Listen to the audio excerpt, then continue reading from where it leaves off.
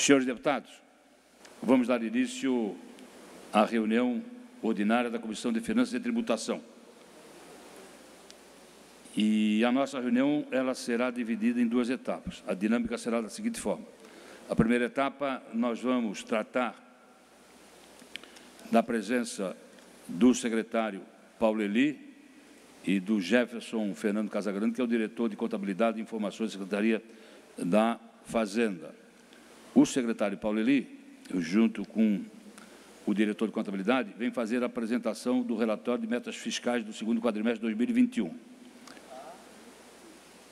E a segunda etapa é a deliberação dos projetos de lei. Aí sim, na parte segunda, tem que haver quórum necessário para a deliberação. Agora, como é a apresentação, não há necessidade de quórum. Então, vamos lá. Senhores deputados, a ata fica para depois, inclusive. Então, vamos à apresentação do secretário Paulo Eli. Então, quero cumprimentar a sua excelência, o senhor secretário de Estado da Fazenda, o senhor Paulo Eli, e também o senhor Jefferson Fernando Grande, que é diretor de Contabilidade e Informações Fiscais da Secretaria da Fazenda. Sejam bem-vindos e vamos dar início à nossa reunião.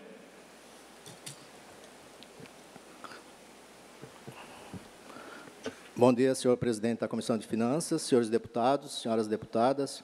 O colega Jefferson está aqui para fazer a apresentação das contas em relação às contas desse ano de 21 com relação ao ao ano de 20, é um comparativo. Nós vamos apresentar as contas do segundo quadrimestre, comparativo com 2020. Uh, 2020 foi um ano atípico, porque nós tivemos restrição de atividades econômicas, e em função disso nós tivemos uma contenção da receita também em 2020. E em 2021, com a expansão das atividades econômicas reprimidas em 2020, elas se efetivaram praticamente no ano de 21. Então, podemos considerar que a arrecadação do ano de 2021 ela está dobrada em relação aos percentuais de crescimento em relação ao ano 2020, porque toda aquela contenção de atividades econômicas que aconteceram em 2020, aquele represamento dos negócios, eles aconteceram em 2021, e nós temos a expansão econômica e a expansão inflacionária no país ah, isso tudo contribui para que o aumento da receita do Estado. Então, nós vamos fazer a apresentação agora, o Jefferson vai fazer. Depois, eu estou aberto às perguntas, com o Jefferson também, para dirimir todas as dúvidas em relação aos, aos números que nós vamos apresentar aqui. Mas, Jefferson. Ainda antes do, do, do senhor Fernando, eu quero registrar a presença do deputado Sargento Lima, deputado Gerry e também da deputada Luciane Caminati. Sejam todos bem-vindos. Então, vamos passar a palavra ao senhor Jefferson Fernando Grande, que é o diretor de Contabilidade e Informações Fiscais da Diretoria da Secretaria da Fazenda. Então, um bom dia a todos, senhores e senhoras deputadas, a todos que nos acompanham. Como o secretário já fez a introdução, nós vamos apresentar os resultados aqui até o mês de agosto, ou seja, do segundo quadrimestre de 2021, procurando, na maioria das análises, também sempre comparar com o mesmo período de 2020. Podemos iniciar? Então, os relatórios que dão base aos números que nós vamos apresentar são o relatório resumido de execução orçamentária é, do quarto bimestre, então, do ano de 2021, também o relatório de gestão fiscal do segundo quadrimestre de 2021, ambos foram publicados no Diário Oficial na data do, do dia 30 de setembro, Estão disponibilizados também no portal da Transparência do Poder Executivo, também no, no sítio da Secretaria da Fazenda e também já foram devidamente encaminhados aqui para essa casa. Nós iniciamos então com a apresentação do resultado orçamentário, a gente traz aqui as receitas é, realizadas até o mês de agosto de 2021 e também as despesas que foram liquidadas, ou seja, aquelas despesas que foram efetivamente já realizadas. Nós tivemos uma receita de 22 1,28 bilhões é, arrecadados em 2021, contra uma despesa liquidada de 19,81 bilhões, resultando no superávit de 2,47 bilhões. No mesmo período do ano anterior, o superávit tinha sido de 1,74 bilhões. Desmembrando um pouco melhor, então, a arrecadação, a gente inicia pela arrecadação bruta, né? sempre lembrando que o, nem todos os recursos que são arrecadados pelo Estado ficam é, originalmente com, é, com o Estado, partes é, repartida com os municípios, por exemplo. Então, a gente inicia pela arrecadação bruta, que é o que de fato entrou no, nos cofres do Estado inicialmente. Percebe-se ali que o, valor, valor, o maior valor é dos impostos e taxas, ali, especialmente o ICMS, né, com 23,95 bilhões. Depois vem as transferências correntes, aqui FPE e outros recursos recebidos do governo federal. Depois nós temos as contribuições e também depois as demais, as demais receitas. Em termos de, de participação, a gente pode perceber realmente que os impostos e taxas ali são a maior parte, com 75,9% da receita bruta arrecadada, seguida então pelas transferências com 15,6%. Aqui então as receitas líquidas, como eu comentei, né, há um valor que entra originalmente nos cofres do Estado, mas depois é repartido com os municípios, além de outras deduções, como restituições, né, então, nós tivemos no primeiro quadrimestre de 2000, até o segundo quadrimestre do ano 2021, 31,57 bilhões arrecadados. Desse montante, 9,29 bilhões é, foram contabilizados a título de dedução. Aí nós temos as transferências aos municípios, 5,82 bilhões. Aqui destaca-se a cota parte do ICMS, cota parte do IPVA. Tivemos a transferência ao Fundeb, né, parte do que 20% dos impostos e transferências arrecadadas são é, repassados então ao Fundo da Educação, 3,45 bilhões, outras de, pequenas deduções ali. Nós chegamos a uma receita líquida de 22,28 é, bilhões a, até o final do, do, segundo quadrimestre de 2021. No ano anterior, né, em 2020, nesse mesmo período, nós tínhamos alcançado 19,11 bilhões. É, Percebe-se, então, uma variação na receita bruta de 19,7% e na receita líquida de 16,6%, por os motivos que o secretário já, já elencou inicialmente.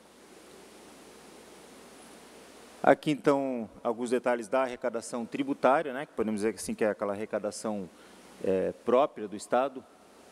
Então, nós temos ali os impostos é, e taxas com 1,5 bilhões arrecadados em 2021, o imposto de renda retido na fonte, né, que é o imposto que é retido sobre pagamentos realizados pelo Estado, mas que fica para o próprio Estado, 1,1 bilhões, o IPVA com 1,7 e o ICMS, obviamente, com, valor, com maior valor, 19,5 bilhões. Né. Isso no segundo quadrimestre de 2021, a gente tem ali também, então, os valores do primeiro quadrimestre, de 2000, do, até o segundo quadrimestre de 2020.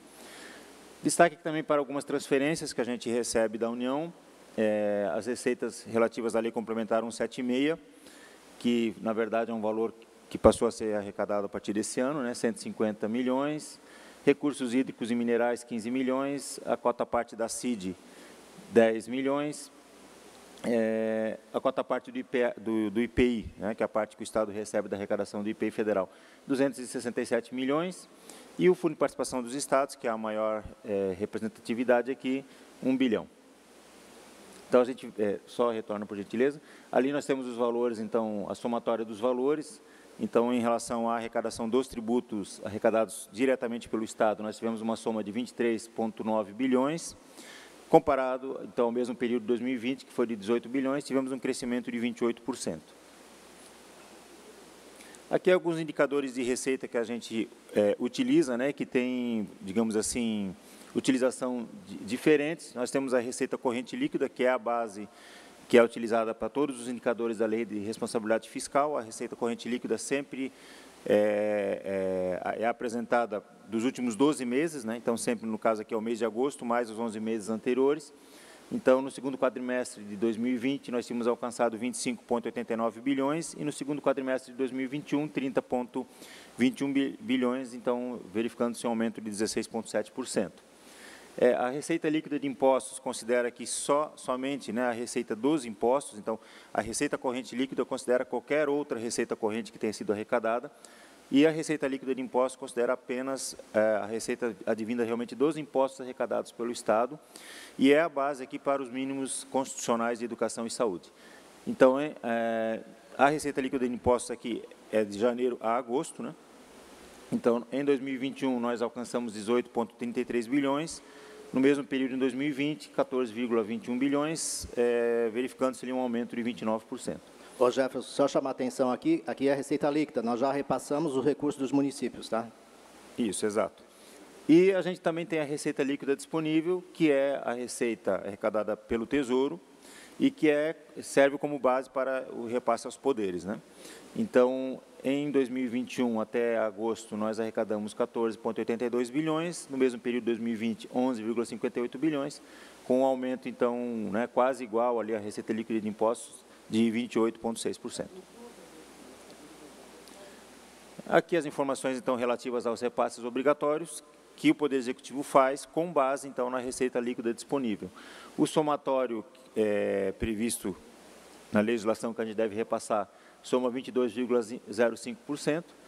É, até o final do segundo quadrimestre de 2021, o Poder Executivo repassou 3,2 bilhões. No mesmo período de 2020 havia sido repassado 2 bilhões. Obviamente, esse aumento tem, tem reflexo com o aumento da arrecadação. Né? E ali nós temos, então, é, os valores repassados para, para cada poder e também o percentual correspondente. Agora, partindo para uma análise mais relacionada às despesas, né, aos gastos públicos, nós temos aqui as despesas fixadas na LOA, é, então o orçamento nasceu né, com 31,75 bilhões. Durante o ano, a gente teve um total de créditos adicionais de 5,34 bilhões. Esses créditos adicionais são, ah, é, vamos dizer assim, complementos ao orçamento inicial, né, em virtude de vários fatores, é, superávit do ano anterior, excesso de arrecadação, é, enfim, é, complementos e despesas, né? E a dotação atual, né, autorizada, a dotação atualizada até o final do, do segundo quadrimestre de 2021 é de 37,09 bilhões. Dessa dotação, então, autorizada, nós tivemos já um total empenhado de 21,87 bilhões e um total liquidado de 19,81 bilhões. Né? Lembrando sempre que o empenhado é aquele valor comprometido, o liquidado é o que de fato daquilo que já foi empenhado é que de fato já a mercadoria já foi entregue, o material, o serviço já foi prestado e assim por diante. Pode seguir. Aqui para vocês terem uma noção então das desses gastos, né, o, o, valor anterior ali era o total, né, consolidado. Aqui a gente tem uma noção então dessas despesas liquidadas por poderes. Então nós temos ali 0,05 milhões na defensoria pública, é, 0,57 no Ministério Público, 0,59 no Poder Legislativo, compreendendo aqui o Tribunal de Contas, né? Nós temos 1,61 é, no Poder Judiciário. A gente aqui no Poder Executivo, então, separou o que é, é Previdência, né? Então, o regime próprio de Previdência, 4,39 bilhões. E o restante dos gastos do Poder Executivo, que somaram 19,59 bilhões. Vocês têm ali... Deixa, os... deixa eu só fazer uma intervenção aqui. A, a expansão do gasto do executivo de 19,6 é que as despesas do executivo são indexadas à arrecadação. Nós temos que gastar 25% com a, com a educação, é, 12% com saúde e tem os outros, as outras despesas vinculadas. Então, obrigatoriamente, nós, a receita cresceu, obrigatoriamente tem que se aplicar os recursos naquilo que é vinculado constitucionalmente. Então, é só para chamar a atenção, por isso que houve um crescimento de 19,6% da despesa, a, e a receita aumentou 28. Então, isso, a, essa é uma gestão que nós fazemos em relação a, ao controle orçamentário efetivo que nós fazemos. Então, o somatório das despesas liquidadas 19,81, né, no mesmo período de 2020, a soma era de 17,37. Aqui, as, essas mesmas despesas liquidadas, mas por área, né, para os senhores terem uma noção é, em que áreas de governo que esses gastos foram realizados. Então, nós temos ali o total na área de previdência social. Essas, essa, essas áreas, no ponto de vista da classificação da despesa, a gente chama de função. Né? Então, sempre que se empenha uma despesa, ela é classificada também por área de governo que, que a despesa está sendo realizada. Então, na função previdência social, nós tivemos, até o final do segundo quadrimestre de 2021, 4,8 bilhões. Na área de educação, 2,8 bilhões. Na área de saúde, 3 bilhões na área de segurança pública 1,8 bilhões e nas demais funções ou demais áreas de governo, né, aí entra agricultura, infraestrutura, cultura, enfim, todas as, as demais, 7,2 bilhões.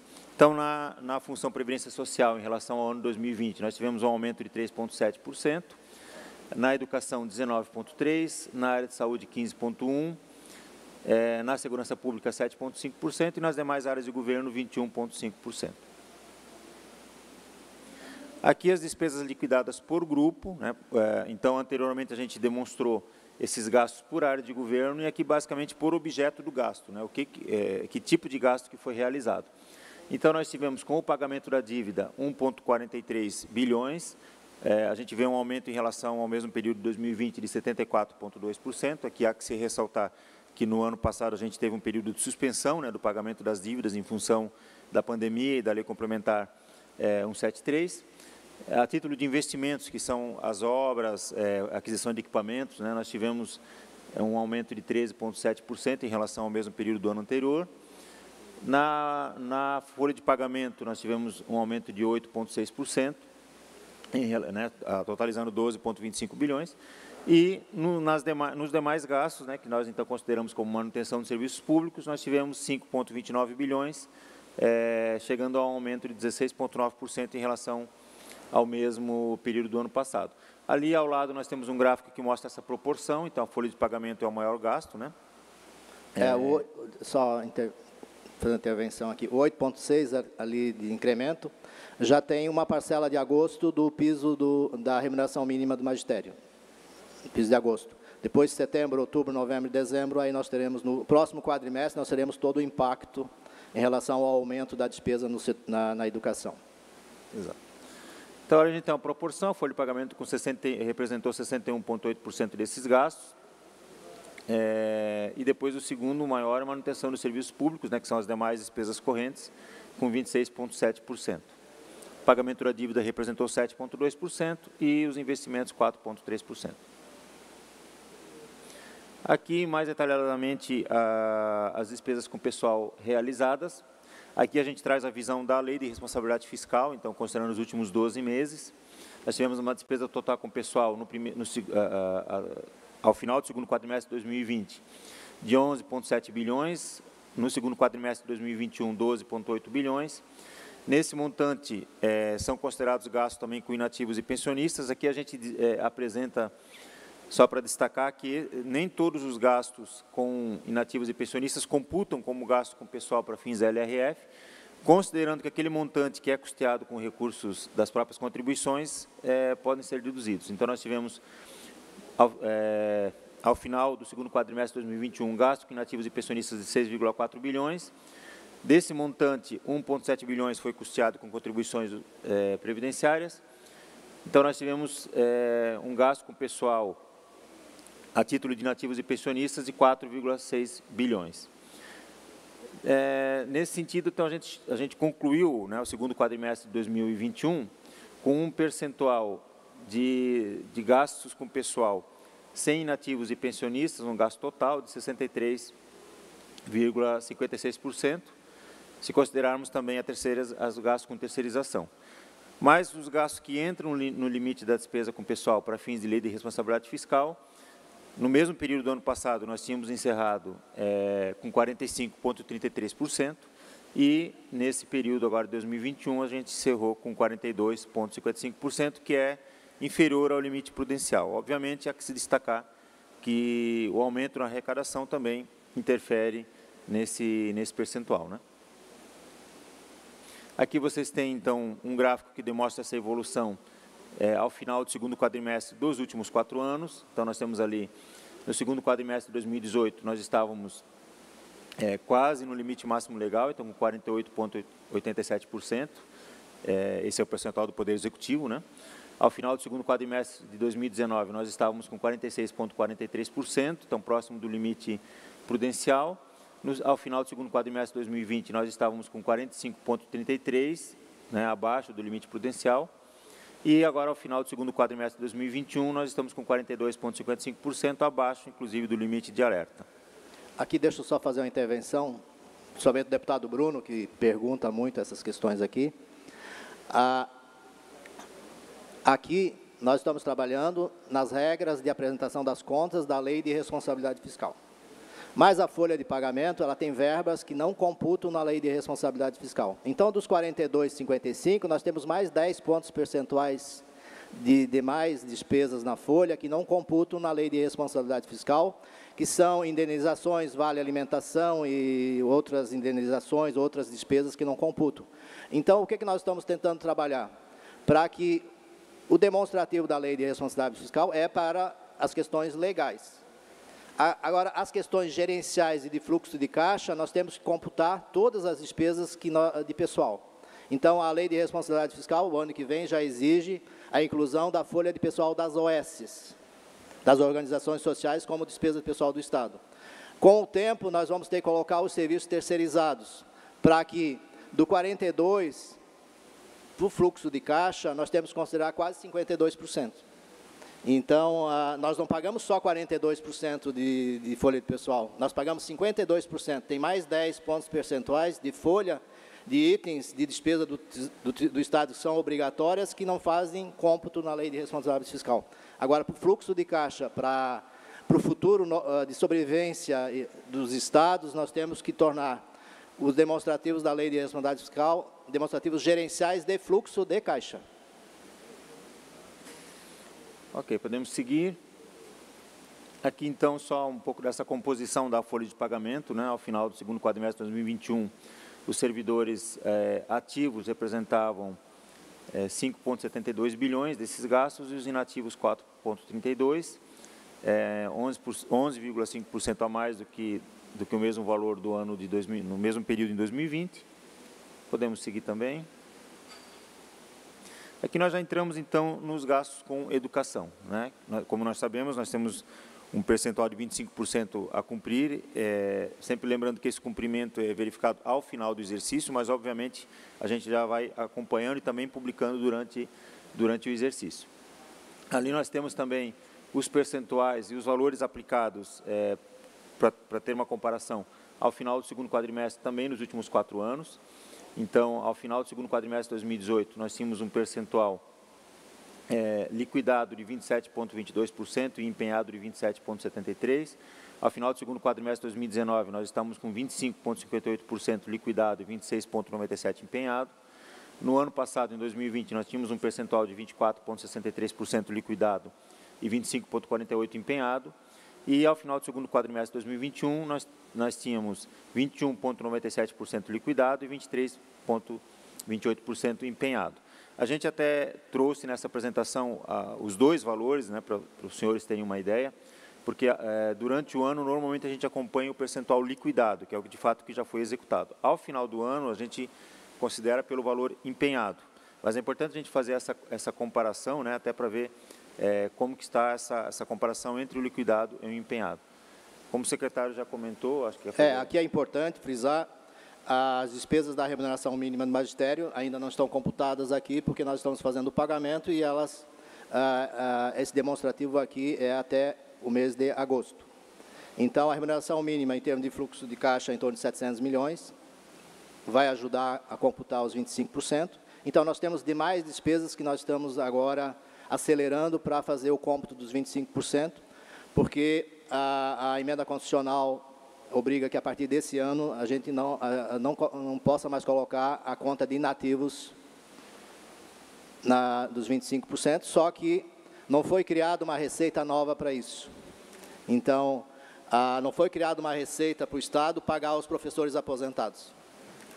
Então, nós temos que criar uma receita para isso, porque senão nós não vamos conseguir fechar as contas, porque a, a receita do Estado e a despesa do Estado, elas ainda não fecham, porque nós temos demandas crescentes da sociedade, de serviços e obras que nós temos que executar, que não cabe no orçamento, porque nós temos que arrumar uma fonte para pagamento da, dos inativos. Então, é, é, os inativos esse ano devem fechar em 5 bilhões e pouco, nós vamos ver daqui a pouco ali na frente, e tirar os inativos do cômputo da educação, porque os 25% foram criados na Constituição de 88, quando a folha da educação era pago pela folha da educação e os inativos faziam parte ali daquela conta.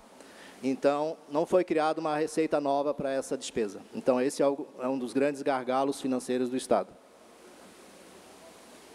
Ok, podemos seguir. Aqui vocês têm um detalhamento desses valores. Né? Então, esse 25% ele é, ele é calculado sobre a receita líquida de impostos.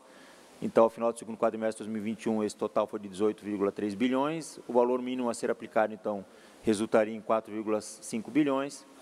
É, o total das despesas que foram consideradas no mínimo constitucional somaram 4 bilhões, porque nem todas as despesas em educação podem ser consideradas né, no mínimo constitucional. Nós temos ali os percentuais liquidados e empenhados até o momento, que, que já estava no gráfico anterior. Como vocês percebem, é, nos, ao final do segundo quadrimestre de 2020, nós tínhamos um total de 265 milhões é, considerados dentro desse cômputo dos 25%, e agora no segundo quadrimestre de 2021 a gente já não está considerando nada. Nós temos também um total de despesas executadas em educação com outras fontes, então vocês percebem que ao final, ali em 2021, nós já temos 1,6 bilhões é, gastos em educação, só que são fontes que não computam, computam nos 25%. Né? São gastos de educação, mas não contam para o fim dos 25%. Tá? Então, se nós fôssemos considerar é, todos os gastos já, já realizados, de qualquer fonte, ou de qualquer gasto, a gente já estaria em 31,14%. É, Pode passar. Então, aqui o percentual mínimo em saúde, é, o percentual que o Estado deve a, ah, aplicar de 12% da sua receita de impostos. Ali vocês têm os valores aplicados também ao final do segundo quadrimestre dos últimos quatro anos. Nós é, aplicamos até o momento, em termos de, de percentual empenhado 15,58% e liquidado 13,37%. Aqui também um desmembramento desses valores, então, é, o que já foi aplicado em saúde e que considerado, então, no mínimo de 12%, 2,4 bilhões, os percentuais ali, né, 13,37%, 15,58%, que já estavam no gráfico anterior, é, o Poder Executivo também aplicou em saúde em, com outras fontes, ou seja, recursos que não computam nos 25%, desculpem, nos 12%, 550 milhões, gerando um total de despesas com saúde de 3, mil, de 3 bilhões, que também já estava lá no gráfico anterior. Aqui só falando um pouquinho em saúde, a em função da necessidade da expansão dos investimentos em saúde, em função da longevidade, ah, em função da, da maior expectativa de vida, isso gera a maior despesa no sistema público de saúde. Então, a, lei, a peça orçamentária que está na casa esse ano para análise, para o ano que vem, ela já computa como 15%. Então, nós achamos que o 15% ele vai, vai conseguir atender a, a saúde no ano que vem. Eu não sei se no 2023, 2024 vai conseguir, porque é uma expansão enorme dos, das necessidades em saúde, principalmente em função do envelhecimento das pessoas. Quanto mais idade nós, nós temos, mais nós, nós necessitamos de atendimentos médicos, e isso reflete no sistema de saúde. Então, ao contrário da educação, onde nós temos a redução da taxa de natalidade, nós temos a redução do número de alunos por sala de aula, nós temos a redução, mas a Constituição de 88 fixou esses dois patamares, o 25 e o 12, o, o 12 não é suficiente para a saúde, nós estamos colocando 15, mas eu tenho que criar uma nova fonte de, de receita para atender todas essas despesas, ainda mais, e saúde e educação, nós não podemos computar os inativos no, na, na conta. Só que o Tesouro paga todas essas contas. Obrigado. Então, aqui nós temos é, também uma noção dos investimentos realizados pelo Poder Executivo é, durante esse exercício, até o final de agosto, né? Então, nós, é, em termos de, de, de, fonte desses recursos, então foram, é, foram realizados aqui, esses aqui são os valores empenhados, 700 e, é, 978 milhões é, com recursos próprios, né? O que, que são recursos próprios aqui nessa análise? Tudo aquilo que não seja fruto de operação de crédito nem de convênio. Então, com operações de crédito foram realizados 200, é, 123 milhões nesse exercício, e 54 milhões com recursos advindos de convênios, aqui normalmente convênios federais. Né? Então, nós tivemos um aumento de 30,9% em relação ao, mesmo período do ano anterior, é, com recursos próprios, diminuiu a utilização de recursos de operações de crédito e aumentou 15,9% é, os investimentos com recursos vindos de convênios. Aqui só chamando a atenção, se nós tivéssemos mais projetos licenciados para iniciar as obras, essa conta de desembolso estaria bem maior. Tá? Então, o que nós temos hoje é projetos licenciados é uma necessidade premente, em função, nós temos recursos para investir em todas as obras que nós estamos fazendo projetos, mas, infelizmente, a capacidade de fazer projetos, ela é muito limitada. um projeto bom, licenciado, ele demora de dois a três anos para ser executado, depois a execução ela é rápida, mas desde que tenha um bom projeto licenciado e um projeto muito bem feito. Então, nós temos mais de 100 milhões de reais na rua hoje de projetos sendo executados para serem executados nos próximos anos. Aqui os dados relativos à Previdência Estadual, então nós temos aqui o resultado é, previdenciário, também ao final do segundo quadrimestre dos últimos quatro anos. Então, ao final do segundo quadrimestre de 2021, nós temos um total de receitas previdenciárias de 1,51 bilhões, né, em geral aqui são as contribuições previdenciárias arrecadadas, né, dos servidores e a patronal. As despesas previdenciárias somaram 4,91 bilhões, gerando um resultado ali negativo de 3,4 bilhões. Vocês têm os mesmos valores, uh, os valores dos mesmos períodos dos últimos quatro anos. E ali ao lado nós temos um gráfico que mostra a composição dessas despesas previdenciárias é, para ter uma noção por área. Né? Então nós temos ali é, a educação com 31,1%, a saúde com 7,2%, é, os inativos militares 22,1% e as demais é, áreas ou demais servidores com 39,5% dessa, dessa despesa previdenciária. Essa conta, volta ao gráfico, ao Jefferson, esse gráfico, essa conta ela tende, ela tende a piorar, porque nós temos a maior média salarial do país e a média salarial reflete na questão previdenciária. Então, todos os reajustes salariais que vão ser concedidos a partir do ano que vem, vão ser concedidos esse ano de reposição inflacionária, até 2020 vão impactar muito nesses números. Então, a, a expectativa de fechar esse ano é em torno de 5,200, mas o ano que vem a conta ela tende a ser bem maior do que esses números absolutos, vamos dizer assim. Não em termos de participação da receita. O que, que nós estamos trabalhando? Naquela conta ali de 42 e pouco, em relação à receita, à folha, em relação à, corrente, à receita corrente líquida, a, a, a, conta dos inativos está nesse valor. Então, nós conseguimos fazer o controle do fluxo de caixa, colocando, a, controlando a, relação receita corrente líquida folha e a, contribuição dos inativos vai estar nesse valor.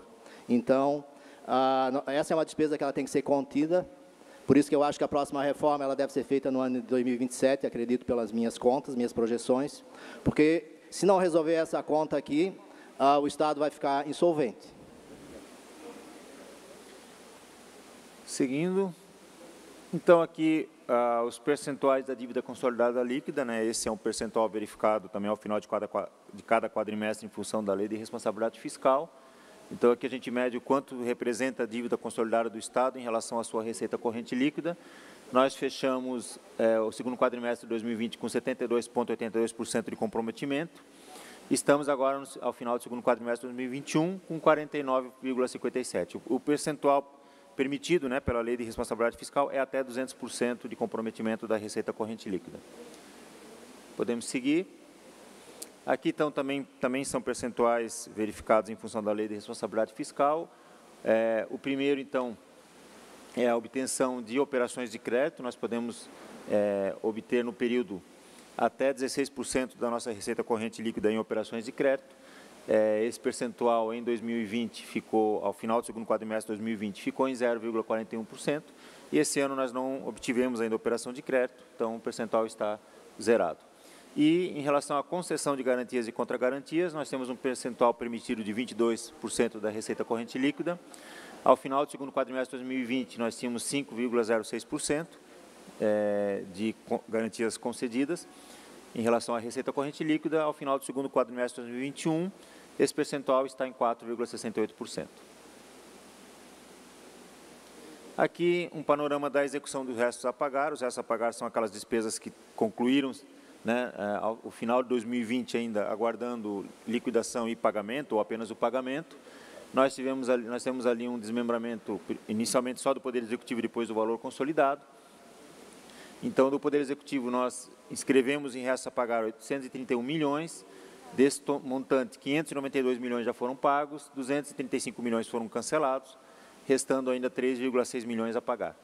No consolidado, nós temos, tivemos 922 milhões inscritos, 647 milhões foram pagos durante esse exercício, 267 milhões foram cancelados e temos ainda 4 milhões aguardando pagamento.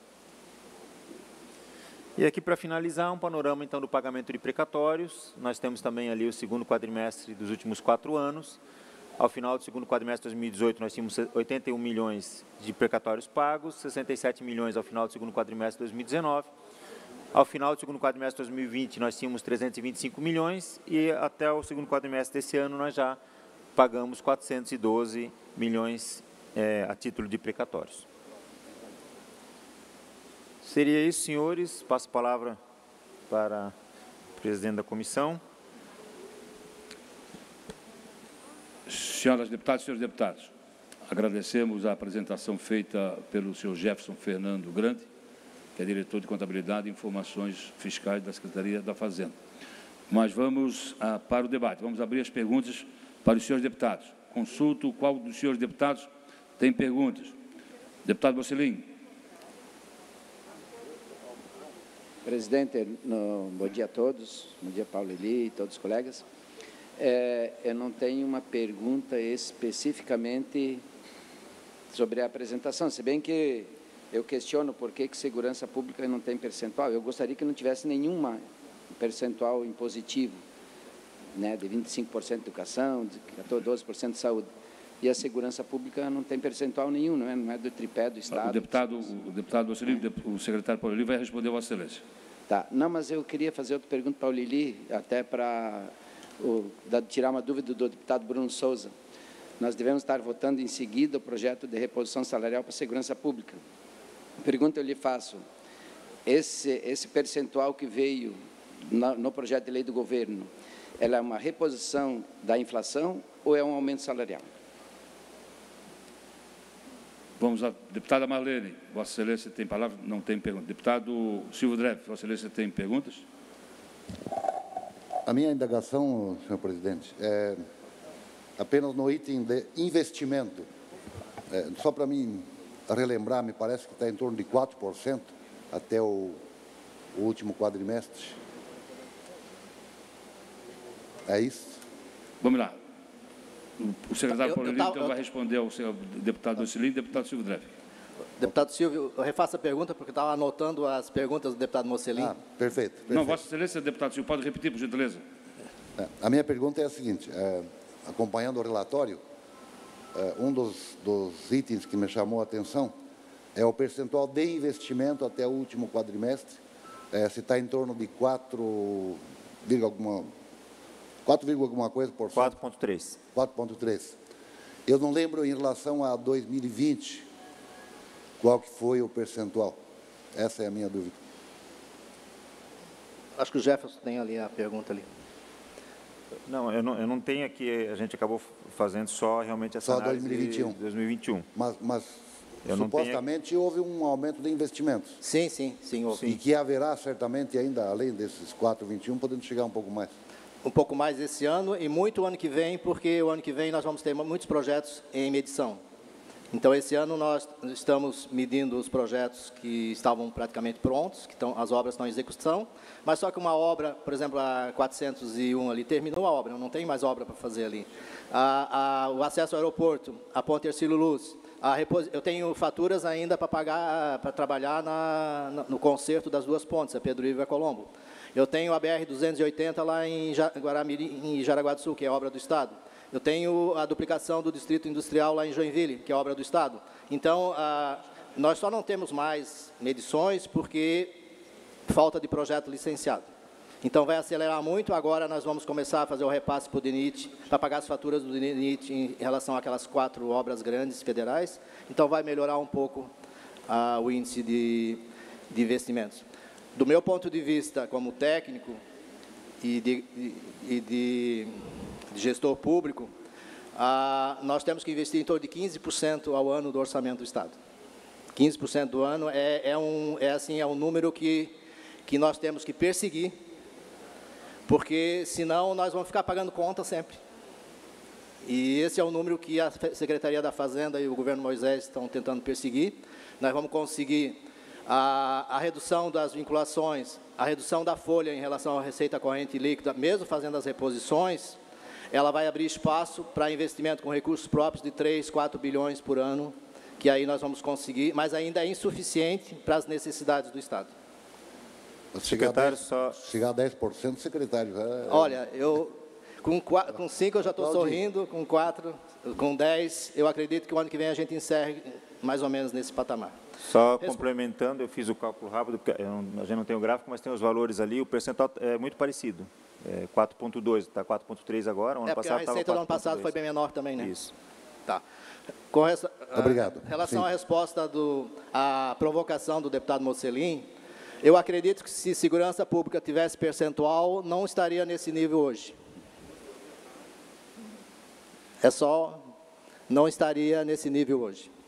A segurança pública é a área que mais tem expansão de gasto nos últimos 10 anos. E a, a, o projeto que os senhores vão votar hoje em relação ao aumento da segurança pública é reposição salarial, sim. Reposição da inflação, né? Deixar bem claro, é reposição da inflação dos últimos anos. Sim. Não é um aumento salarial.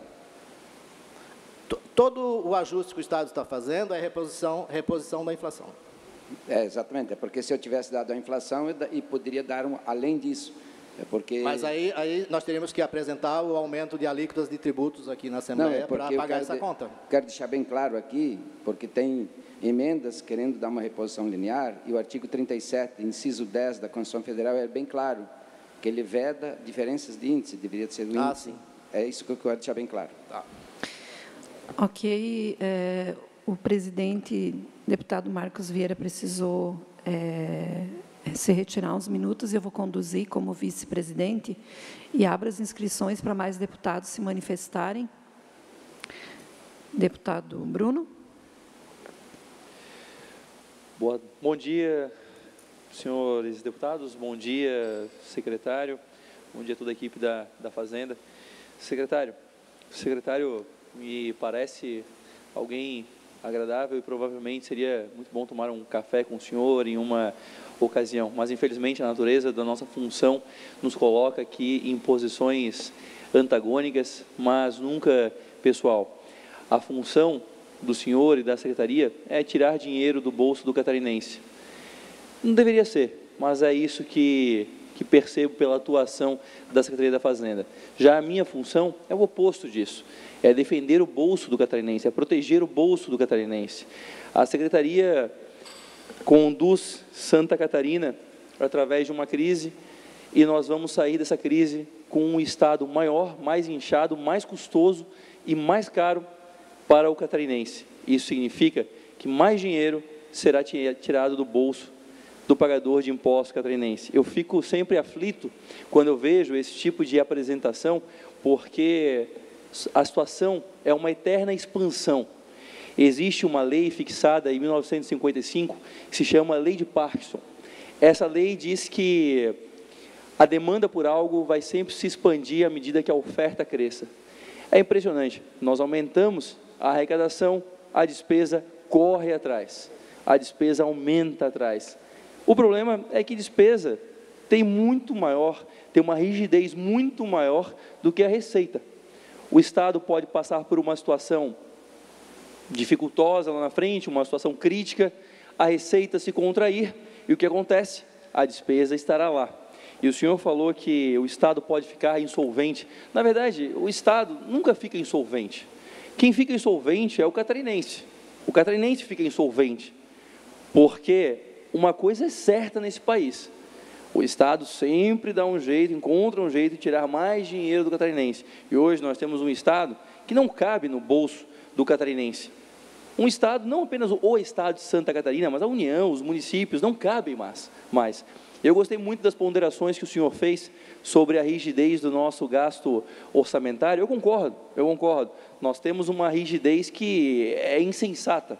Fixar esses percentuais é insensato. A nossa pirâmide demográfica ela muda ano a ano. Nós vamos chegar no final de 2030 com o esgotamento do nosso bônus demográfico e as demandas serão outras. Entretanto, não é só por isso que o gasto do Estado se expande. Nós não podemos nos, esconder aí. Por exemplo, eu cito uma licitação só que o Estado de Santa Catarina quer fazer com vigilância em escolas, que vai custar quase 1% do orçamento do Estado. Uma licitação. Vai custar apenas 1%. 1% apenas. Nós não fazemos políticas baseadas em evidências. Isso me deixa, me deixa realmente muito aflito, porque assim a despesa vai só se expandindo. Eu gosto muito do modelo de, de Singapura, onde a remuneração dos gestores, dos secretários, ela é vinculada a expansão do crescimento econômico. Uma parte é fixa e outra parte é decorrente da variação do crescimento econômico.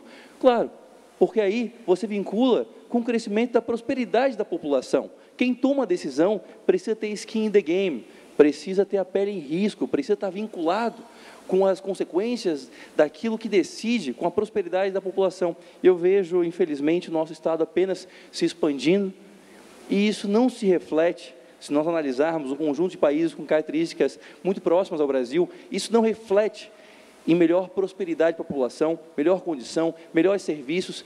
Pelo contrário, nós temos uma, uma das piores entregas do planeta, uma das piores relações entre imposto arrecadado e serviço entregue. É muito triste como isso funciona no Brasil. Nós tiramos dinheiro, depenamos do brasileiro catarinense e entregamos muito pouco.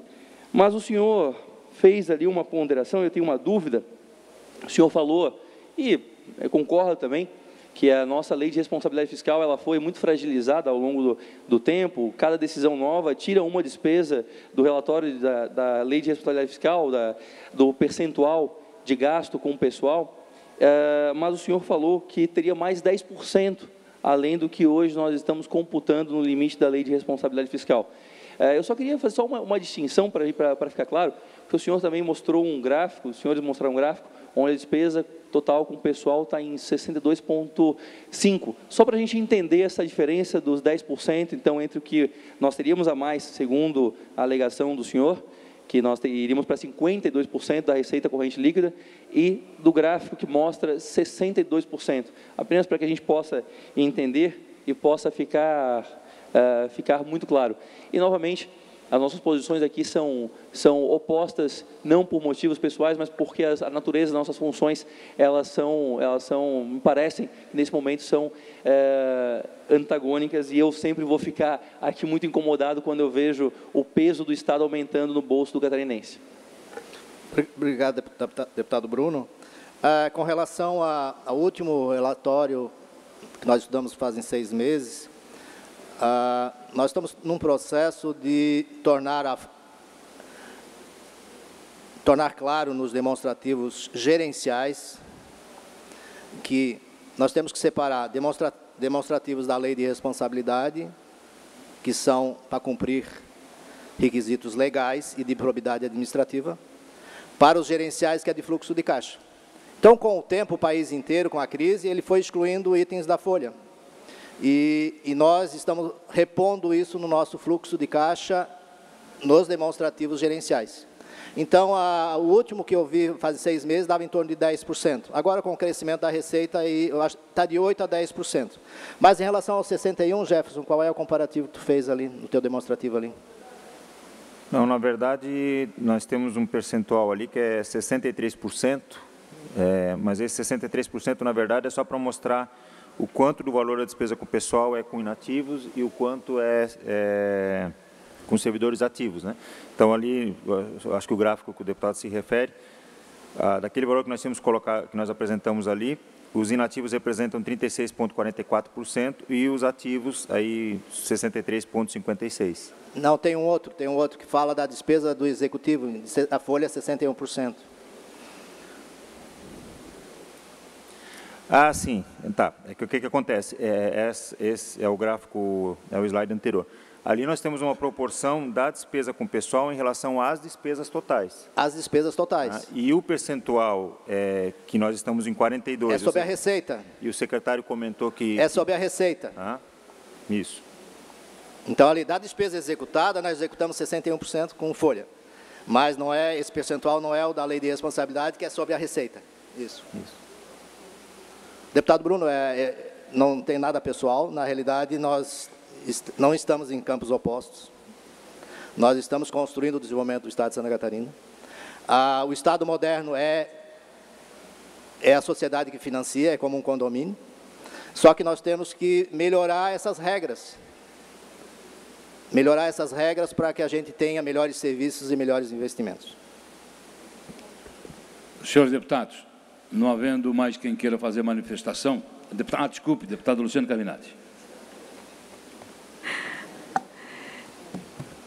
Então, eu quero, em primeiro lugar, agradecer mais uma vez o Paulo Eli e também, perdão, seu, Jefferson. o Jefferson, né, o Jefferson, que estão aqui apresentando. Eu estava acompanhando aqui os dados do último quadrimestre do ano passado, né? Estudei muito essa tabela para discutir plano de carreira do magistério. E primeiro quero dizer, Paulo Eli, que eu comungo da tese de que nem sempre crescimento econômico significa melhoria da qualidade de vida. Em primeiro lugar, eu tenho esse entendimento. Você pode ter um Estado que cresce economicamente, mas que concentra. Né? Se a gente pensar, em dois anos de pandemia, nós tivemos 42 novos bilionários no Brasil, em plena pandemia. Então, não necessariamente que o crescimento ele signifique crescimento das políticas públicas do Estado ou da remuneração. Eu penso que o Estado, enquanto é, instituição fundamental, ele precisa investir. Então, que bom que a gente tem previsão de investimentos em obras, né, em infraestrutura, isso é muito positivo. Ele precisa devolver, nas palavras do deputado Bruno, ele retira, mas ele devolve.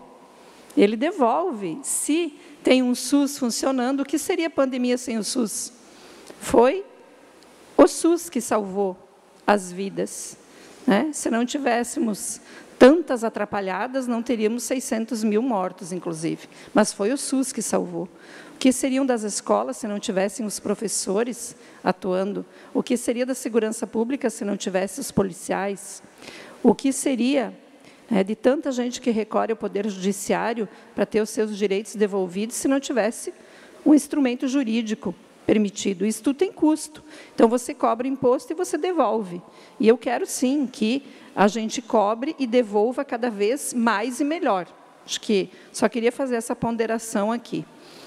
Quando a gente aprovou a lei na Assembleia do salário mínimo regional, também é uma forma de devolver, quando você amplia o percentual para além da inflação. Mas eu quero me deter um ponto aqui. Eu estava verificando que no ano passado nós fechamos os gastos com os inativos na educação em 404 milhões. Está aqui a apresentação feita. 404 milhões. O impacto financeiro do plano de carreira que está nesta casa, eu estou falando do plano de carreira, não da remuneração mínima.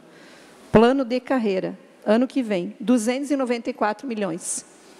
Ou seja, foi criada uma expectativa de valorização dos profissionais da educação, mas que quando a gente olha para os números, se transportar os inativos, o investimento na carreira, ele é menor do que os 400 milhões, 404 milhões com os inativos.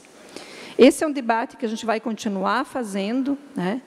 Eu, eu entendo que o governo fez uma proposta de governo, sobre a PEC da remuneração mínima e não considerou o conjunto do magistério público estadual. E agora nós temos aqui, para a grande maioria dos educadores, apenas o reajuste da inflação. Eu quero dizer, Paulo Eli, que eu aplaudo uma série de ações e programas que este governo está fazendo, e digo em alto e bom tom, mas no plano de carreira não está sendo justo o que está sendo colocado. E não está sendo justo, porque se a gente olhar do Fundeb, nos últimos anos, eu fiz o levantamento de 2015 a 2020, 2015 nós colocamos 97,93% do Fundeb na educação, quase 100%. Agora a meta é 72. Por que, que a meta é 72? Se o menor percentual que nós utilizamos foi em 2019, 74, praticamente, mas variou de 97, 82, 77, 82,65 no ano passado para agora 72. Eu quero dizer com isso que eu entendo que há margem para a gente avançar do ponto de vista da carreira. E isso não vai quebrar o Estado. E não vai destruir os patamares da lei da responsabilidade fiscal. Gostaria de fazer essa menção aqui, Paulo Eli, e parabenizando por todo o trabalho que a Fazenda está fazendo, a tua equipe, e na condução. Mas temos que avançar nesse aspecto. Obrigada. Obrigado, deputada. Na realidade, nós demos um passo para iniciar um processo, deputada. Então, a remuneração mínima garantida é só o início do primeiro passo. Depois nós temos questão de descompactação da tabela, nós temos outros itens para considerar. A, a, educação não tem só professores para pagar, a educação tem toda uma série de despesas que tem que, que, tem que pagar. A, nós estabelecemos um, um, uma régua de 70%, 72%, porque o mínimo é 70% pelo Fundeb, porque a cada, a cada real que é concedido para o professor em sala de aula, quantos reais a mais nós temos que colocar lá no déficit da Previdência. Então, a conta é só essa. E esses 400 milhões ali não é, não é esse valor, porque aqui 400 milhões é o que nós usamos do inativo para computar no 25. Então, isso... Ah, tá bom. Então, na realidade, deputado, eu acredito que o 5 vai virar piso da tabela dentro de 3, 4 anos. Na minha, na, na minha avaliação, é o piso inicial. Na minha avaliação, daqui a 3, 4 anos, o, o início da tabela deve ser os 5 mil. Mas nós iniciamos esse processo de valorização do professor, porque hoje ninguém mais quer ser professor para ganhar R$ 2.800. Quem é que quer ser professor para ganhar R$ 2.800? Agora, com 5 mil, o, o, concurso de ACT agora deu 70 mil candidatos. 76 mil candidatos. Então, assim, nós estamos no caminho certo. Mas, deputada, nós não podemos fazer tudo uma lambada só. Aí as contas não comportam. Mas, num processo de médio prazo, eu não falo nem longo prazo, os, os cinco, pelo, pela trajetória que nós montamos, ele, em três, quatro anos, ele vai ser o piso. Ele hoje não é, hoje é remuneração mínima. Então, esse é um processo que nós estamos trabalhando e eu acredito que ele é um processo exitoso. Ah, nós temos o impacto do, dos inativos em relação a isso. Os inativos, na realidade, é contém a nossa expansão na tabela dos ativos. Então, financeiramente, é essa conta que nós fazemos.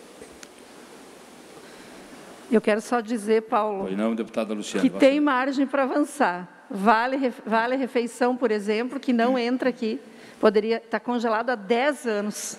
10 anos. Tem outros aspectos aqui. Eu não vou abrir o debate aqui, porque não estamos discutindo só educação, né? E queria que o Vampiro tivesse aqui, para mim poder falar para ele isso. Mas eu quero dizer que eu contesto, porque eu acompanho os números da educação ano a ano. Tem margem para avançar na proposta do governo. Mas a gente precisa fazer esse esforço coletivo. Obrigada. Muito obrigado, deputado Luciano Caminati. Senhor deputado, não havendo mais quem queira se manifestar. Presidente. Deputado Sargento Lima, por, por gentileza. Só, até mais é, é mais para a própria deputada Luciane mesmo ali, de como que isso reflete na, na rede municipal de ensino. É uma questão, tá? Tem que ser levantada. Tá? Gente, pode ser para o senhor também. Responda essa pergunta, deputado. Que tipo de professor nós vamos conseguir para nossas escolas estaduais e municipais pagar R$ 2.800? Essa é a resposta. O mesmo tipo que já vem trabalhando até hoje. Ninguém mais quer ser professor, a remuneração é muito baixa. Como é que nós podemos ah, pagar um professor de nível superior que fez faculdade 40 horas, R$ 2.800? Não tem sentido isso. Então, assim, nós temos que quebrar esse paradigma. Professor tem, é uma das profissões que tem que ser mais valorizadas. Não, não estou discutindo isso. Eu tenho absoluta certeza que o professor tem que ser valorizado. Estou te perguntando se foi consultado ali, pelo menos a FECAM, em relação a isso. Qual vai ser o posicionamento desses, da rede municipal de ensino no Estado? Os, ah, os municípios estão com muita dificuldade de cumprir os 25% da educação sem os inativos. Os municípios têm espaço fiscal para isso. Senhor e deputado. o Estado também tem. Hum. Senhor deputado, vamos dar continuidade. Muito obrigado, deputado Sargento Lima. E damos por encerrada a primeira fase da a reunião da Comissão de Finanças e Tributação. Vamos para a segunda etapa. E agora há quórum de 100% dos senhores deputados. Vamos, então, à discussão e votação da ata. E os senhores deputados receberem seus respectivos gabinetes Cópia da ata da 29ª reunião ordinária da Comissão de Finanças e Tributação referente à terceira sessão legislativa da 19ª legislatura, em discussão. Não havendo quem queira discutir em votação. Senhores deputados, com cópia, mas como se encontra aprovado. Vamos à pauta. Senhores deputados, senhores deputados, deliberamos na reunião passada sobre o PL, o 0330.5-2001, de autoria do Governo Federal, do Governo do Estado, que autoriza o Poder Executivo a conceder parcelamento de débitos de imposto de ICMS às empresas que especifica e altera as leis 17649 de 2018, a 13992 de 2007 e 10297 de 1996. Deliberamos de que eh, convidaria-se o secretário Paulo Eli para que pudesse fazer explicações, dar explicações sobre esse projeto de lei. A sugestão foi do eminente deputado Júlio Garcia e foi acordada por todos. Então, deputado Silvio Dreve, Vossa Excelência, é, com a palavra, mais uma vez se mantém o seu voto ou não, e aí nós passamos para o deputado Bruno para fazer as indagações ao secretário Paulo Eli. Se Vossa Excelência mantiver o seu voto, eu passo para o deputado Bruno Souza. Sim, senhor presidente. É, eu mantenho meu voto. Vossa Excelência pode dar sequência à, à reunião. Havendo a manutenção de voto por parte do deputado Silvio, consulto o deputado Bruno. Deputado Bruno, Vossa Excelência, com a palavra. Bom, Primeiro, eu gostaria de manifestar aqui que me pareceu uma forma extremamente des deselegante de mandar para essa casa um projeto que trata de assuntos tão diversos e todos compactados em uma mesma proposta. Uma mesma proposta que trata de, um, de refis, de refinanciamento de, uh, de débitos, também trata de aumento, por exemplo, de multas por do, mudança do, na forma de cálculo de multas por atrasos e também aumento de uh, ah, ICMS para empresas do Simples. Então, são assuntos de natureza diversas e nós deveríamos tratar isso em projetos difer diferentes. Eu lamento que isso seja encaminhado forma, tudo junto, porque isso torna muito dificultoso a análise e até contraditório aqui, porque eu posso ser a favor de alguma matéria e ser contra outras aqui dentro, não é verdade? Mas, secretário, uma das alterações, a sexta alteração, na verdade, ela trata. Eu tenho duas. Eu vou me ater a duas questões básicas aqui, a duas alterações. A sexta alteração é sobre a multa por atraso do ICMS. E, novamente, eu fico, às vezes, impressionado com a vontade de colocar a mão no bolso do catarinense aqui, né? Porque hoje a multa, e é importante que os deputados é, se atentem a isso, hoje a multa é cobrada calculando-se até a primeira parcela. Hoje, nos parcelamentos, né? E a proposta, ela muda isso. Ela dilui o cálculo para cada parcela, ou seja, vai cobrar multa até o vencimento de cada parcela. Vai ser multa sobre juros. Uma forma de aumentar a arrecadação do Estado através de multas. Nós estamos aumentando a multa daquelas pessoas que, por algum motivo, não conseguiram pagar os seus impostos em um determinado momento, tiveram que fazer um parcelamento para conseguir se manter em dia, voltar, se recuperar, se levantar, e aí o Estado vai lá e muda, está mudando no projeto a forma de calcular multas para que a gente torne mais pesado as parcelas. A gente vai, vai aumentar o índice de, de multa, a gente vai cobrar, cobrar o, cada, para cada dia até é, cobrado por dia, né, até o dia do vencimento da parcela. Então, eu gostaria de entender, esse, é, entender isso, porque hoje a lei ela diz assim, pagar o imposto devido após o prazo previsto da legislação tributária, antes de qualquer procedimento administrativo ou medida de fiscalização.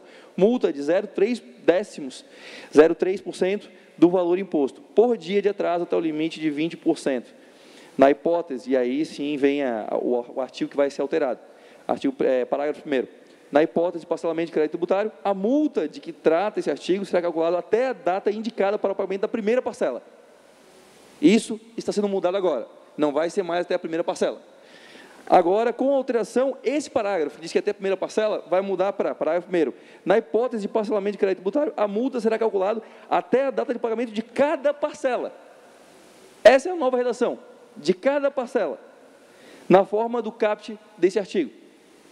Isso aqui, logicamente, vai aumentar o valor da multa, uma forma do Estado aumentar a arrecadação em cima de multa, vai cobrar multa sobre juros, inclusive, porque cada parcela é corrigida pelo juro, né? e, e, e o juro que é o, o valor do dinheiro no tempo, não é a multa. E aí, pelo menos é o que eu entendi dessa, dessa redação dessa redação. Então, eu realmente queria que o senhor explicasse isso, porque para mim é uma forma de cobrar mais de quem está mal, do catarinense que está mal. E a segunda pergunta... Posso, deputado Bruno, Vamos por etapa, acho que Ótimo. melhor para poder entender as pessoas. Secretário Paulo Eli.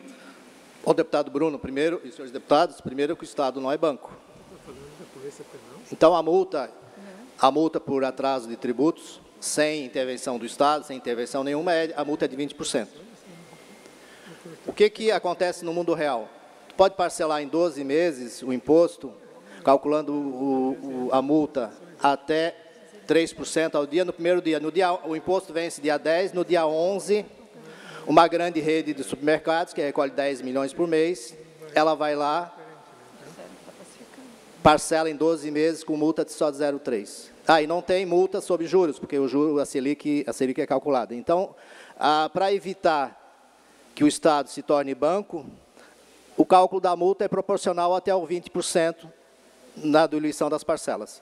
Então, aí nós limitamos administrativamente que podia ter só três parcelamentos desse tipo, mas aí nós não temos amparo legal para limitar em três. Então, assim, nós temos grandes redes de varejo no Estado, atrasando o imposto para usar essa, essa, essa fragilidade da legislação. Então, assim, isso é para nós termos no Estado uma concorrência leal. Então, vocês imaginem pagar só 0,3 de um financiamento de 10 milhões durante 12 meses, é, é um dinheiro mais barato que o banco. Então, o Estado não é banco, o Estado precisa resolver essa questão, porque grandes redes estão se financiando em cima do dinheiro do ICMS que falta para a saúde, que falta para a educação. Nós só estamos regularizando essa questão. Se a empresa parcelar 10 dias depois, vai pagar o parcelamento sobre 0,3 ao dia, até ao limite de 20%. Deputado Bruno continua com a palavra. Bom, eu fico feliz que o secretário admite que há uma mudança e um aumento de imposto. Só que, secretário, quantas grandes redes nós temos e quantos pequenos nós temos? O senhor está criando uma regra olhando os grandes e os pequenos que vão ter isso mudado, né? Isso, deputado, isso pequenos, pequenos recolhem seus impostos regularmente, deputado. Ah. Pequenos recolhem, olha a nossa taxa de inadimplência do Estado. Agora, por exemplo, uma empresa que vai recolher 50 milhões e ela precisa de 50 milhões no seu fluxo de caixa. Ela parcela em 12 meses, muito mais barato que o banco, e nós não podemos permitir isso, porque o dinheiro falta para os cofres públicos. É, eu, eu, vou fazer um pedido de informações formal para realmente conferir se a sua afirmação, eu vou contrastar com a sua afirmação de que todos os pequenos, que não tem pequeno dificuldade no estado de Santa Catarina. Não, não, não falei isso, deputado. Eu falei que os pequenos recolhem os seus impostos regularmente. Eu estou eu estou falando aqui de planejamento tributário de grandes empresas que se utilizam do Estado para se financiar em vez de utilizar o banco. é isso que eu perguntei. Eu vou levantar essa, essa, informação e aí depois eu contrasto com a afirmação do, é, do senhor. A sétima alteração, e aqui é, eu, eu, eu, entendo a tese, ela é, constitucional, ela é constitucional. O STF, em 2000, e, recentemente, firmou a tese 517, que considera constitucional a cobrança da diferença entre a alíquota interna e a interestadual, referente a operações que são provenientes de outros estados com mercadorias optantes pelo simples. Ok, é constitucional. Mas é aqui, além de ser o bom e velho protecionismo, também é um aumento de imposto. Porque o que acontece?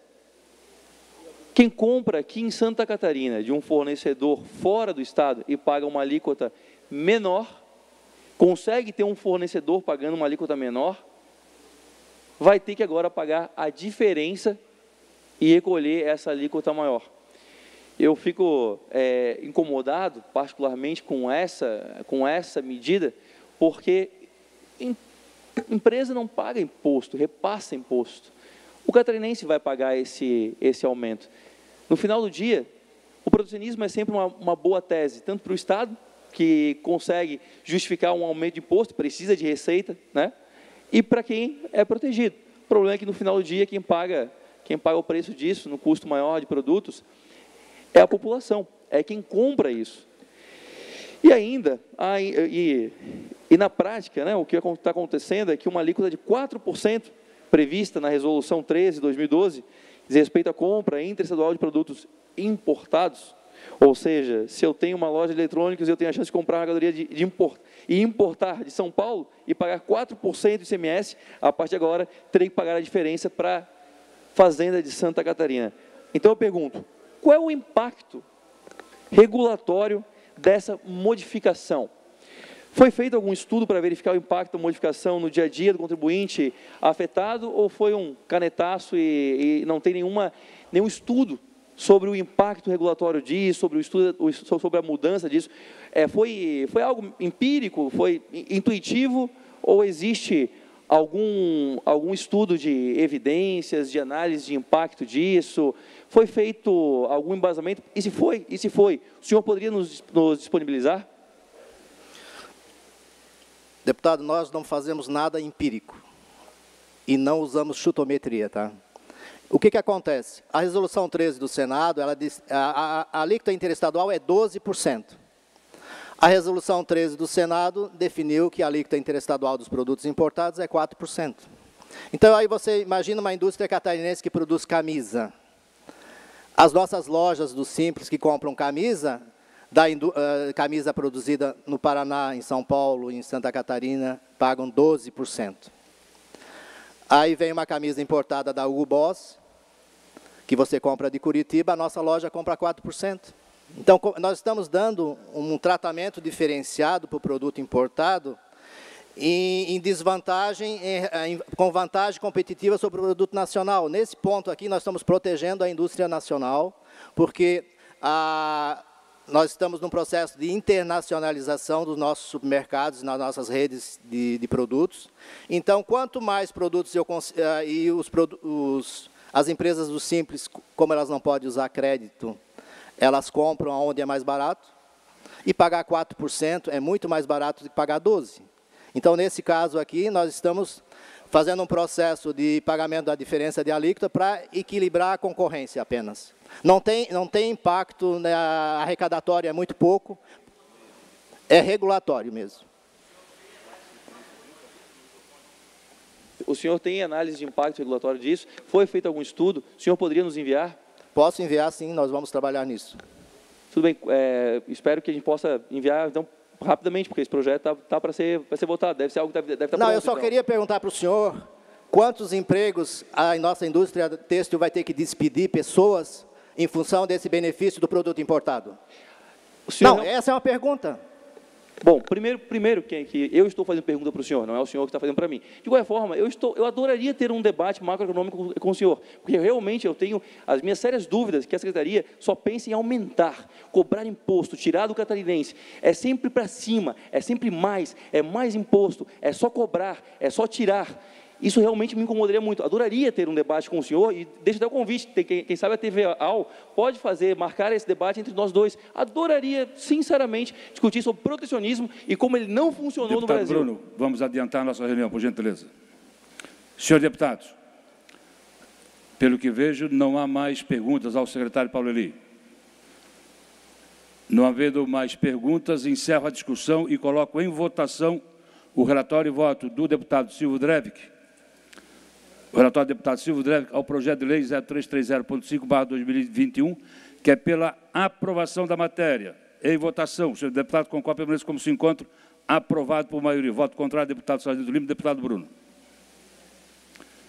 Agradeço a presença do secretário Paulo Eli e também do senhor Jefferson Fernando Grande. Vamos continuar com a nossa pauta.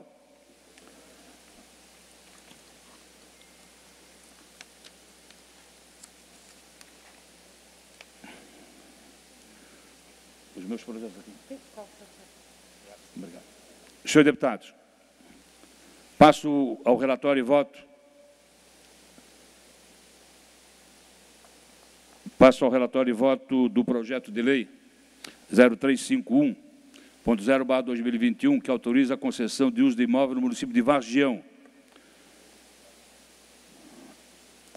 Na verdade, o projeto de lei busca autorização legislativa para que o Poder Executivo conceda ao município de Vagião, a título gratuito, o uso de imóvel pelo prazo de 10 anos, que compreende uma área de 800 metros quadrados, com feitorias não averbadas, é, no sentido de que seja usado por aquela municipalidade, instalando a unidade do Conselho Tutelar Municipal.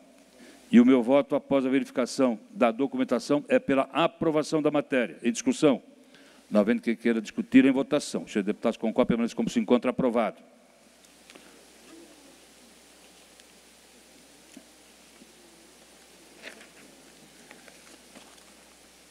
Senhores deputados.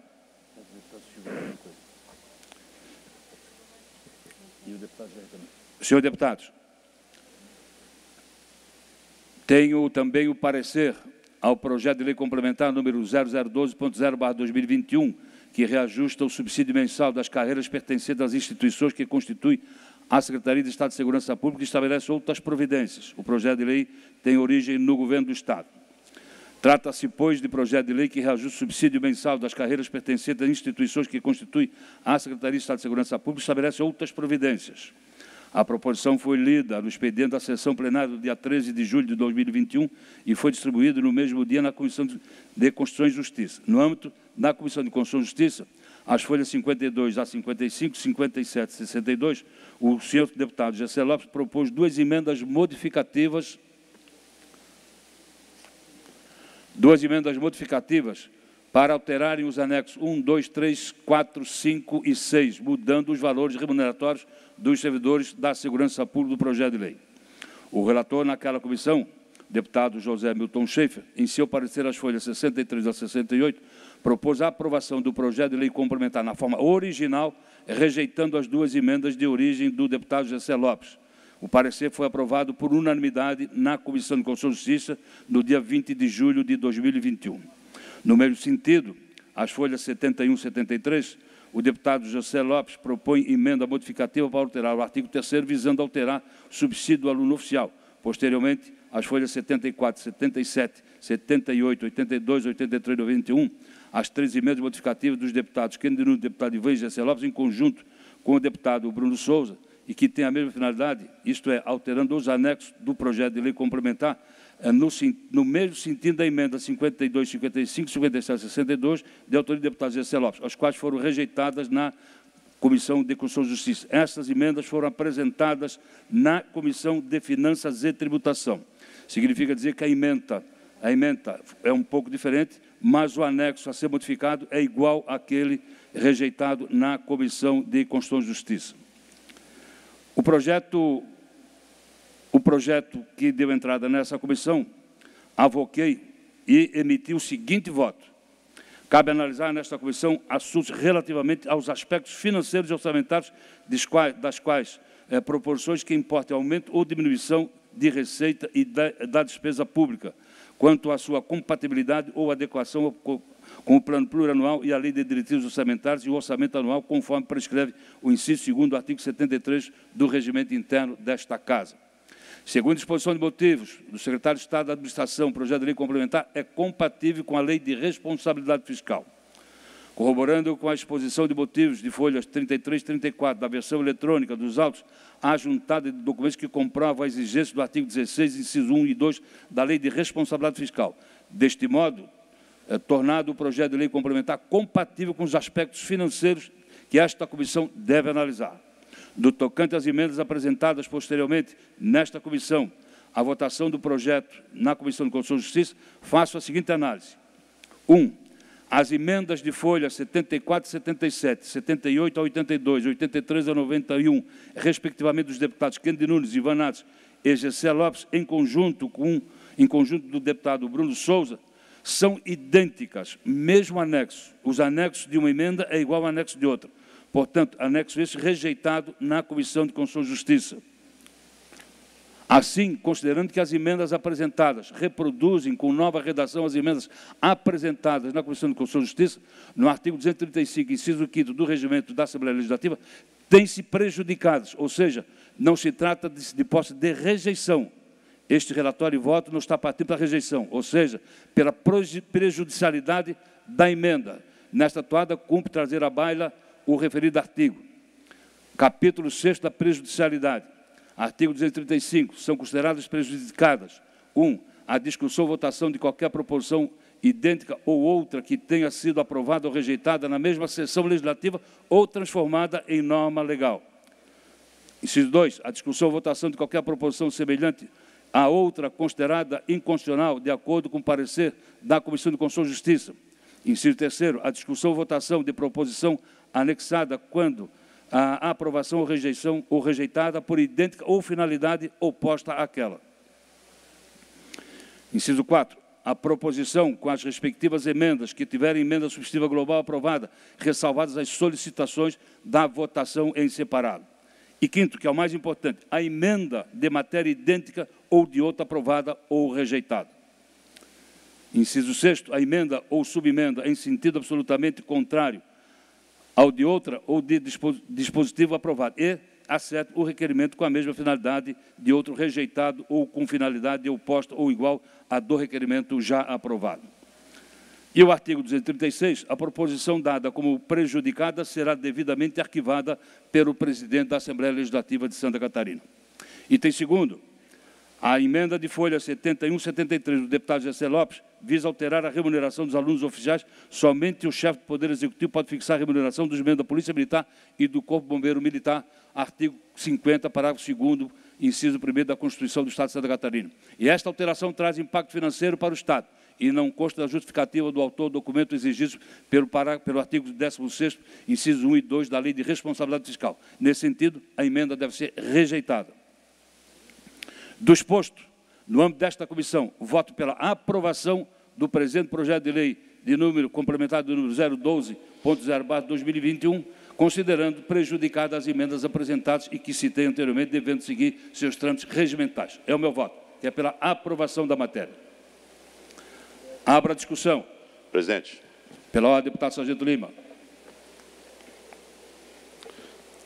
Presidente, vamos ao como foi a tramitação desse projeto. No dia 13 do 7, ele iniciou a tramitação dele aqui. No dia 20 do 7, foi aprovado na CCJ, encaminhado para Finanças. No dia 27 do 10, foi avocado por Vossa Excelência, presidente dessa comissão. E foi pautado uma ratificação de pauta ontem, às 19 horas e 8 minutos do dia de ontem, dia 26, isso já é um motivo que eu vou ter que pedir o meu voto, aliás, vou ter que pedir uma, um pedido de vistas em gabinete, e também considerando o fato que já existe uma comissão mista para análise desses PLs que tratam do reajuste salarial aqui nessa casa.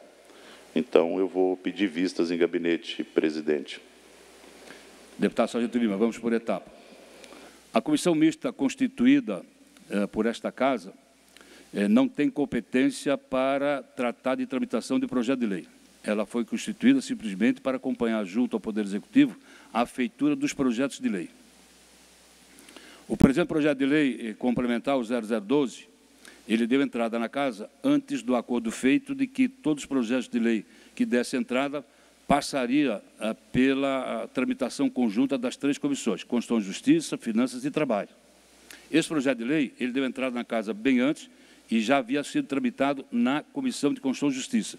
Foram rejeitadas as duas emendas do deputado José Lopes e foi aprovado na sua originalidade por unanimidade. Perfeito. Quanto à pauta do projeto de lei, é regimental o deputado, até porque a pauta é até o dia anterior, é regimental o deputado pautar uh, o projeto de lei no dia anterior ou da reunião ordinária da comissão bem como também é regimental o senhor presidente da Assembleia ou deputado presidente de comissão é, procurar pautar esta pauta de comum acordo entre todos os membros. Então, não vejo que haja qualquer é, é, irregularidade na tramitação desse projeto de lei. E daqui ele vai seguir para a comissão de trabalho. Conforme tô, determinou eu não estou acusando irregularidades dessa comissão, não, presidente. Estou okay. falando só que foi ontem às 19 horas e 8 minutos e eu não me sinto à vontade de votar ele hoje, por isso peço visto em gabinete. Não apontei nenhuma irregularidade dessa comissão. Vamos aos demais deputados. Eu posso. Gostaria Depo, de deputado Coronel Mocelim. Senhores deputados, presidente dessa comissão, é, acho que todos sabem que nós estamos, a segurança pública, de uma forma geral, está desde 2013, foi o, em dezembro de 2013 foi o último ano é, da reposição salarial de segurança pública. E nós estamos, então, há oito anos sem nenhum tipo de reposição salarial. É, em 2019, começou a negociação com o governo e, por não ter acordo com as categorias, é, acabou não sendo enviado para a Assembleia, teve a lei complementar 173, uma lei federal, que vetou aí proíbe aumento salarial ou aumento de despesa com, com gasto com folha até o final deste ano e ficou dois anos sem ser enviado mais nenhum tipo de projeto eh, de reposição salarial. Este ano nós começamos novamente, o governo do Estado, com as associações, são 16 entidades, que trabalharam junto com o governo por várias rodadas de negociações, onde quando todos eles, todas as entidades associativas concordaram com o projeto de lei que o governo do estado é, ofereceu o índice, ele encaminhou aqui para casa. está aqui desde o dia 13 de julho. Então, acho que os parlamentares já tiveram bastante tempo aqui para analisar esse projeto e verificar. Teve essa emenda, que eu não vou questionar se é legal, se é justa, se não é justa. Eu tenho uma filha que é soldado da Polícia Militar, que eu também gostaria que ela tivesse um salário melhor, mas a Constituição Federal, artigo 37, inciso 10, ela é bem clara, que é só olhar bem, ler o que está escrito no inciso 10 do artigo 37 da Constituição, que deveria ser feito todos os anos a reposição da inflação, todos os anos, na mesma data, sem distinção de índice. Quer dizer, eu não posso dar uma reposição da inflação do ano anterior, se fosse considerado, para um funcionário público eu dou 3%, para outro eu dou 20%. Eu tenho que dar o mesmo índice, está previsto na Constituição. Então, em média, foi dado 21% nesse período de oito anos, que, que, é o que o governo está dando, embora seria muito mais a inflação nesse período, eu acredito que chega perto dos 50%. E para soldado para cabo com a categoria menor está dando em 33 a 34%, em torno de 12 a 13% a mais, para porque teve uma uma modificação, vamos dizer assim, na alíquota de desconto da previdência, desconto que era até quem recebia até o teto da previdência que era é, é que é 6.400 e poucos reais, não descontava nada.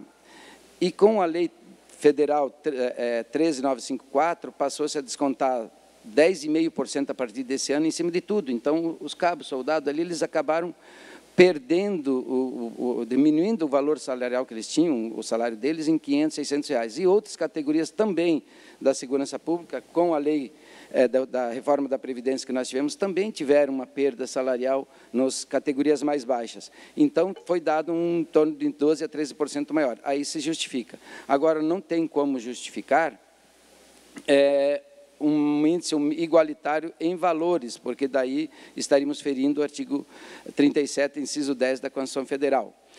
E tem outra coisa, eu entendo que acordos devem ser cumpridos. O governo do Estado enviou para cá um projeto de reposição salarial da segurança pública feito em acordo com as categorias que representam a segurança pública. E se for mexido aqui, ele, com certeza, o governo vai pegar de volta e voltar a negociar. A minha preocupação qual que? Que não dê tempo de negociar novamente até o final do ano, voltar para cá e ser votado e sancionado pelo governo até nós ficarmos novamente sem a reposição tão esperada pela segurança pública. Isso nós, por isso que eu faço um apelo aqui aos nossos colegas parlamentares, que nós possamos aprovar isso aqui o mais urgente possível, votar aqui na Assembleia o projeto que veio do governo e depois a gente discute por melhorias salariais, plano de carreira, que a gente está bem encaminhado junto ao governo, para que ele, ele seja tramitado e, e, e, finalmente ser tornado lei. Eu quero destacar também que o projeto de segurança pública foi o primeiro que aportou aqui na casa, veio e não foi votado ainda, veio da educação, já foi aprovado, veio agora do sistema penal, da polícia penal, e vai ser votado hoje, provavelmente vai ser sancionado, e a da segurança pública ficando para trás. Então, por isso que eu faço esse apelo aos nossos colegas que pudesse dar vista em mesa para, que nós possamos analisar aqui e votado ainda hoje para que isso aí acabe de uma vez, essa penúria que a gente está aí esperando a reposição salarial da segurança pública. Obrigado, presidente. Como se manifesta, deputado Silvio Drevic. Senhor presidente, senhores deputados, eu vou na linha do eminente deputado Coronel Mocelin, porque, obviamente, que as proposições de emendas, elas têm lógica, mas, ao mesmo tempo, como diz o eminente deputado Coronel Mocelin, se é uma reposição de inflação, obviamente que não se pode é, dar percentual abaixo, que, pelo menos pelos indicadores se que foram utilizados, é, se foi o IGPM, se foi o, o IPC ou qualquer outro indicador que foi utilizado.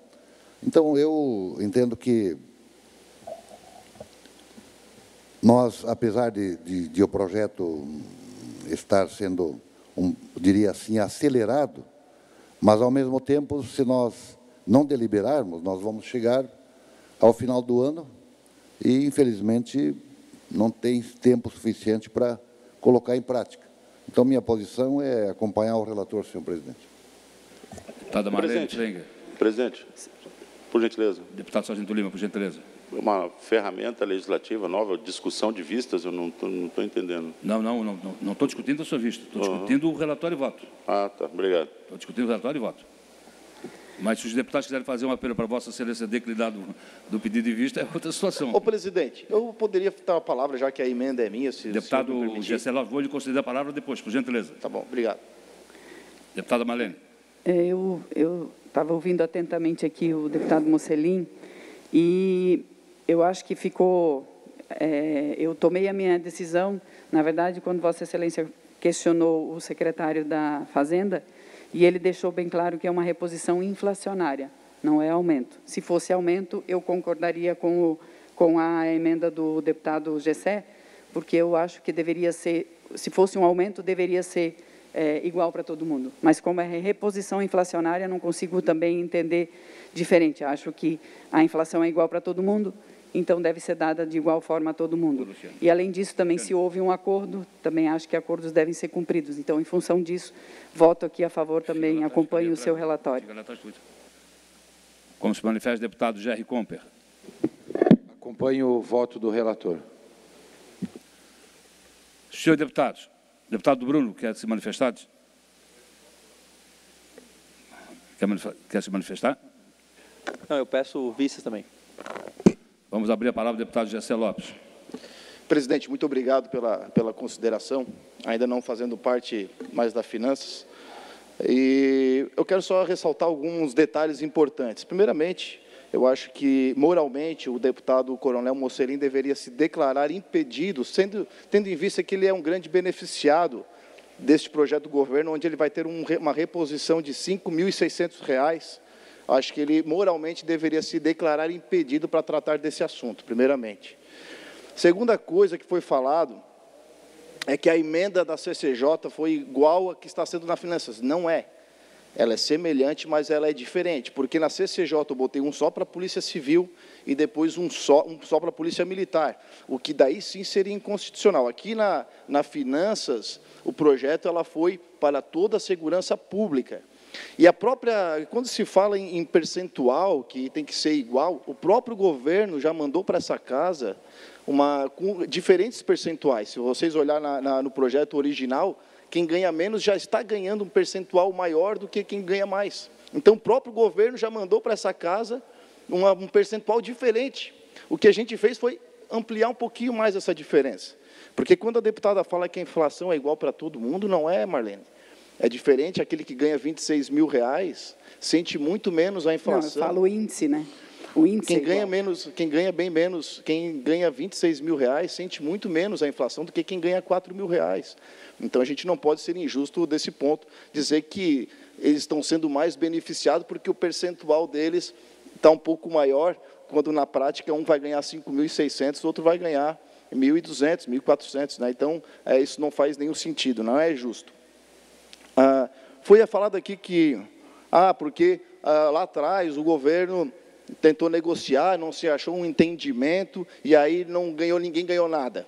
Aí agora a gente está aqui, e se a gente demorar muito, o governo vai voltar. Não, que isso, gente. O, o, o, o, projeto já está aqui na casa. Na outra situação, o, o projeto nem chegou aqui.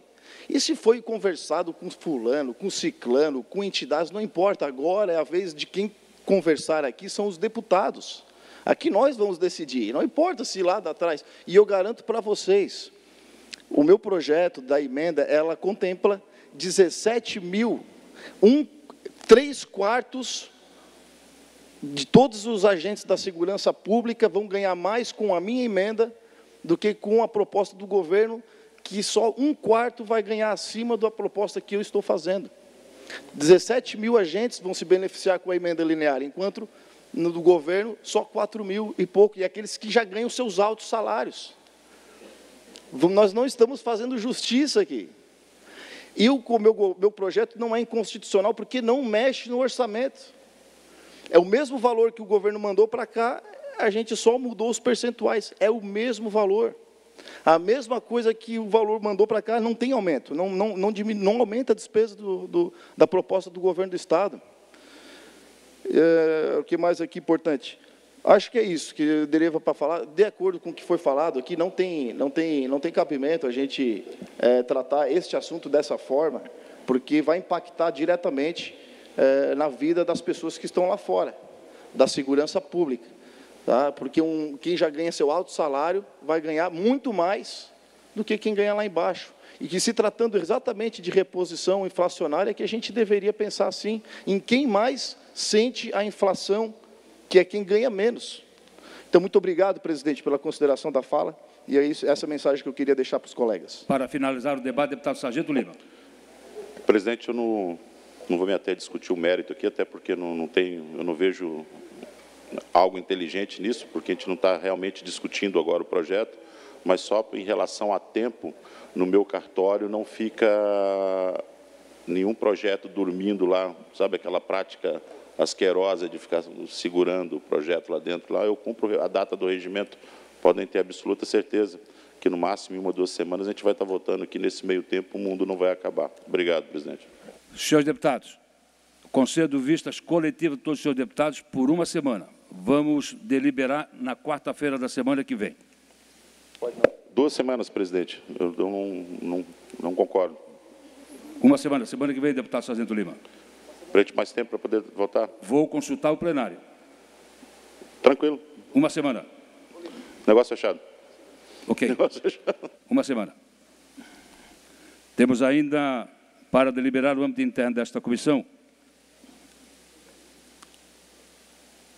projeto de lei complementar o 009.5/2001 que tem que tinha visto ao deputado Bruno Souza, esse deputado Bruno.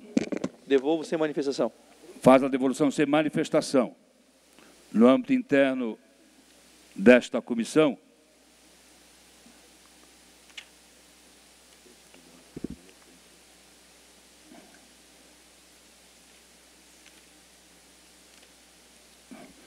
No âmbito interno desta comissão, este presidente é o relator da matéria e apresentei o meu voto, que é pela aprovação nos termos da emenda substitutiva global. Em discussão, não havendo quem queira discutir em votação, senhores deputados, com cópia, permaneça como se encontra, aprovado. Senhoras deputadas, senhores deputados, não havendo mais nada a deliberar, dou por encerrada a presente reunião, deixando outra convocada ordinária para quarta-feira da semana que vem, com, o seguinte, com, a seguinte, eh, a, a, com a seguinte ordem. De comum acordo com o deputado Bruno, às nove horas, o secretário Paulo Eli estará outra vez aqui na Assembleia Legislativa para fazer uma apresentação fora das modalidades da Lei de Responsabilidade Fiscal. E às nove e trinta, a reunião ordinária da Comissão de Finanças e Tributação. Tenham todos um bom dia.